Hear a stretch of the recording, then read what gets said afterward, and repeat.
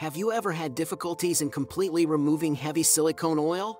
Stick around because Retina Tips has a priceless pearl in a one-minute video. In this video shared by Osman Ahmet Polat from Kayseri, Turkey, a patient with a history of retinal detachment associated with inferior PVR underwent a new procedure for removing heavy silicone oil used as a tamponade in the previous surgery. However, a common difficulty in removing high-density silicone oil is that sometimes it becomes dropped, making the final bubble removal via transconjunctival approach challenging. This video presents a simple, cost-effective solution for removing dropped heavy silicone oil bubbles by injecting filtered air with a soft tip into the bubble.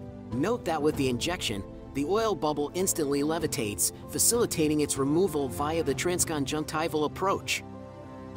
Did you like this fast tip? Leave a like and share the video with your colleagues. See you next time.